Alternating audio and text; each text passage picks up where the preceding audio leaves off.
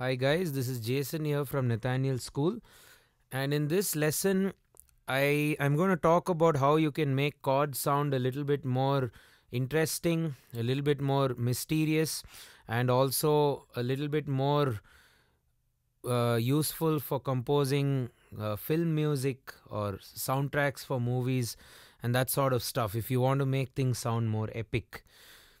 so I have two tricks or, or two uh, things which I myself do, which I wanted to share with you all.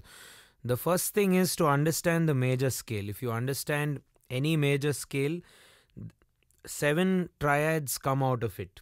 And we use all these seven triads almost all the time when we are making songs, uh, whether it's a pop song, rock song, or uh, blues, or any genre.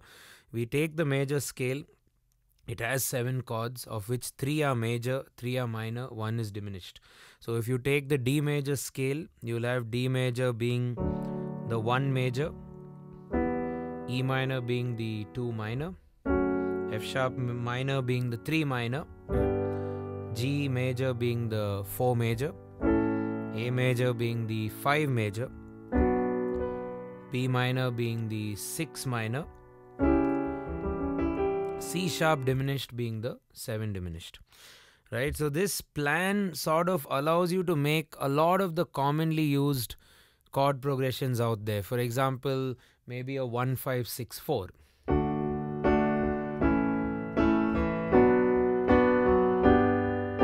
a lot of pop songs which are on this uh, yeah, all the way from the beatles like when i find myself in times of trouble mother mary comes to me and so on. Or even maroon 5 songs. You, you'll find it from for, for a lot of years. Uh, you'll also have things like the 251 progressions which are used uh, in jazz and some pop music as well those progressions also tend to come from the major scale. Um, and then blues musicians do a lot with 1, 4, and 5. So ultimately, a lot of the chord progressions we make come from the major scale because of how popular it is and also because of how awesome it sounds. It's, it's a brilliant scale, it gives some great harmony. But the only issue is that it it can tend to start sounding very redundant. And it may sound like the last song you heard or it may sound like the last song you even made you know. So a good way to maybe break out of that uh, situation is to consider these these two tricks which i have. The first thing is whenever you're composing a song using a major scale we use the one chord, the four chord, and the five chord very, very often, right? So if you take knocking on heaven's door, for example, knock, knock, knocking on heaven's door, and so on, that's nothing but a one, five, and four. And all these are major chords. If you take La Bamba,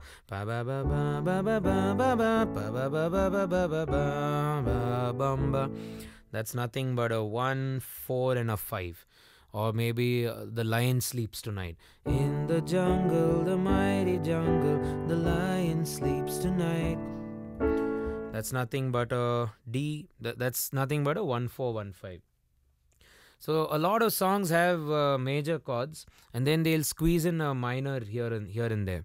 So what you could do is instead of playing the one major and the four major, you can do different permutations or, you can do a one major and a four minor perhaps. Or you can do a one minor and a four major. Or you can do a one minor and four minor is already heard because that's a minor sound minor scale sound.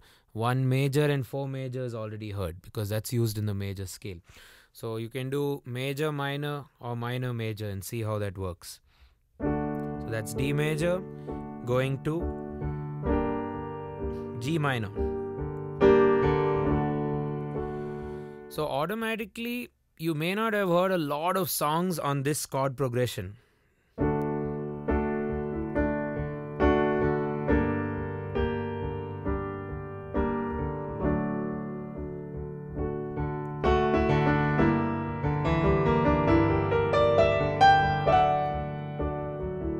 So all I did was remove uh, didn't play G major, which would normally come as the 4 major.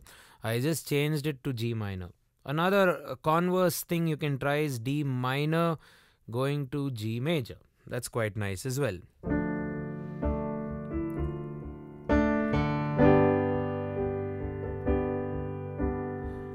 D minor.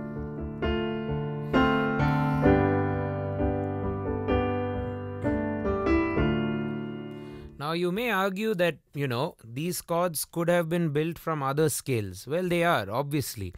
But um, sometimes it's a little tricky to mug up those scales and, uh, you know, write it down and whatnot. I, I just found that this trick is quite useful while jamming and composing and just breaking, just getting out of a shell, so to speak. So, whenever you have a 1 and the 4 regularly running and you feel, ah, it's just it's nice, but it could be a little bit more different or a little bit more epic. Maybe the four chord could be converted, or the one chord could be converted. Um, and you can do the exact same thing with the one and the five chord. For example, D major would naturally go to A major, right? If you're playing even on the guitar or any instrument which plays chords, you're going to be like D major, A major, or D minor, A minor, which would become the D minor scale. So if you do D minor and A major, I think it'll sound quite nice.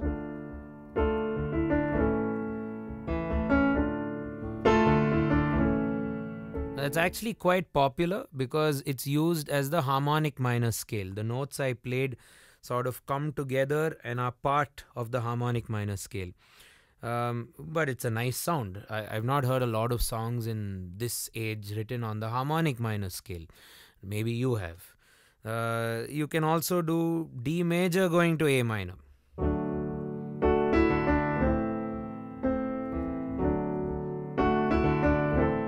And I am just noodling a bit just to show you that a nice melody also can be formed. We are not just building chords here. Your, the chords can inspire you to create some nice tunes as well. And in fact, that is the goal. The chords are there to inspire your melody. So you should immediately make a melody once once you hear these chords. Um, so let's hear how that sounds again. D major going to A minor. It's quite a nice sound.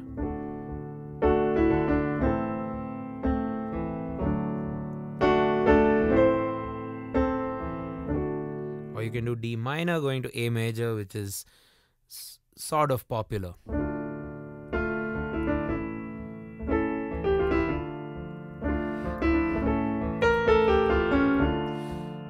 Used in classical music, used in Latin music, and so on.